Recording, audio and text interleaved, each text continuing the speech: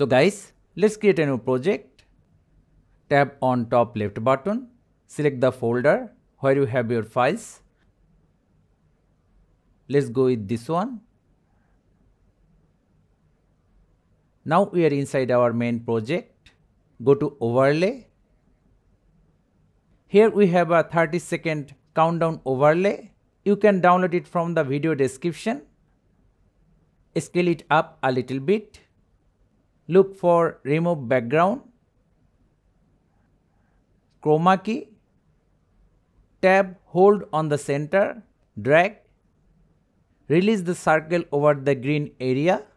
Adjust the intensity and shadow. Place it where you like. And we are done. So thank you guys for watching. Have a good day.